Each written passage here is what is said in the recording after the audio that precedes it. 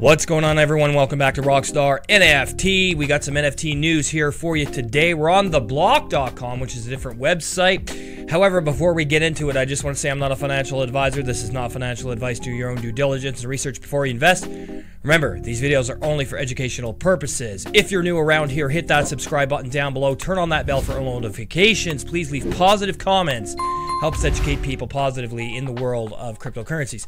So, widely mocked NFT project Pixelmon raises $8 million in seed round, including Animoca Brands.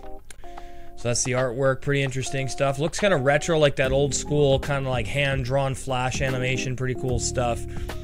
Now, Pixelmon's art reveal for its $70 million NFT sale in February 2022 was described as terrible, boring, and hilariously ugly. Now, since then, the project has been trying to turn its fortunes around. By September of 2022, the project had replaced the artwork, brought in a new leadership team, and outlined a new roadmap. Then in October of 2023, it launched casual side scroller game Kevin the Adventurer which was something that boosted the NFT project's floor price and the lowest price on offer from 0.35 Ethereum or $800 to peak of 1.85 Ethereum or $4,200. So that's quite the substantial price jump. Pretty cool. Now, its latest move in an $8 million seed investment from prominent investors, including Animoca Brands, Delphi Ventures, and Foresight Ventures, which is the parent company of the block.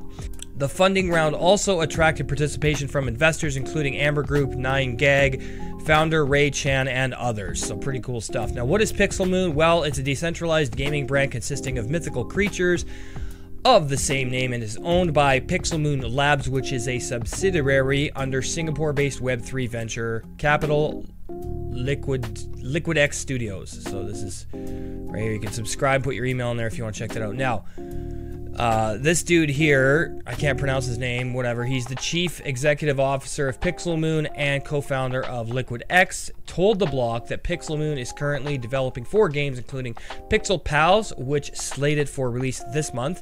All four games will feature the company's representative Pixelmon monsters he added.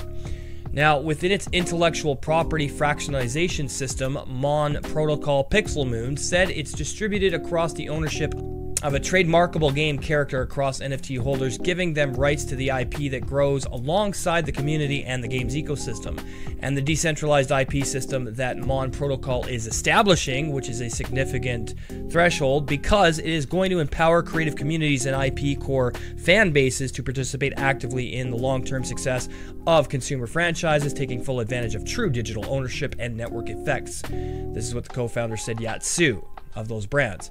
Pixelmon said that the team plans to use the newly raised capital to boost development across the portfolio of casual and mid-core games. All right, that's going to do it for this quick video here on Rockstar NFT. Hope you enjoyed. Like, comment, subscribe, share. We'll talk to you in the next video. Have a great night.